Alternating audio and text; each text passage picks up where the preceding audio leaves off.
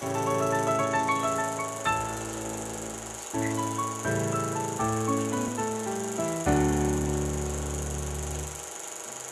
2014 rok przyniósł nam wiele fantastycznych wydarzeń muzycznych na scenie e, muzycznej Kinoteatru Rialto. Mamy fantastyczne warunki koncertowe. To jest sala o wyjątkowej akustyce, co podkreślają muzycy różnych gatunków muzycznych, że to jak się tu gra, jak tu się słyszy, jak dźwięk się rozchodzi, to lokuje nas w czołówce najlepszych sal koncertowych w Polsce.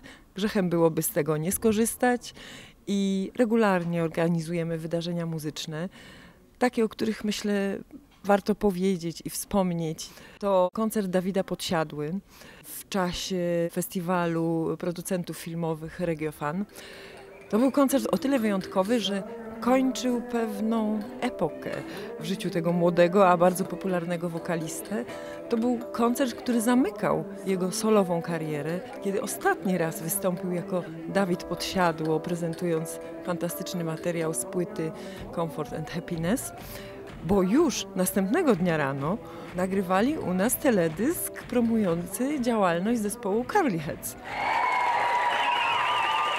W listopadzie taki koncert, który mamy w pamięci, to był koncert zespołu Biscuit, który zapisał się w mojej pamięci tym, że po raz pierwszy grali w Katowicach, a dwa, że po raz pierwszy w kinie wykonywali swój znakomity przebój kino. Także ta bardzo fajna piosenka zabrzmiała naprawdę wyjątkowo na scenie y, Kinoteatru Rialto. Zaprosiłeś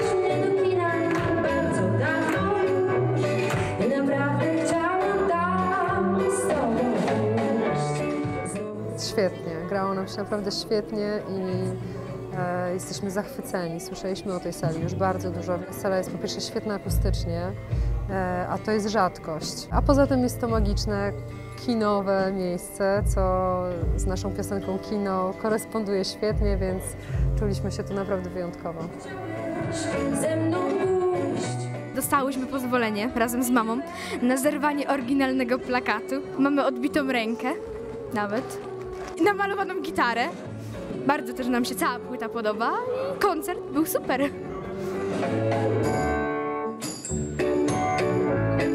Już w lutym czekają nas kolejne koncerty na scenie muzycznej Rialto. W piątek 20 lutego zaprosimy na koncert muzyki celtyckiej y, w wykonaniu zespołu Beltane, który już u nas grał, ale nagrał nową płytę.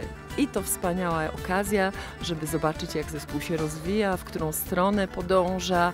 Będzie więc bardzo radośnie, energetycznie, będzie celtycko. Zaledwie tydzień później, bo 28 lutego e, na naszej scenie domowe melodie.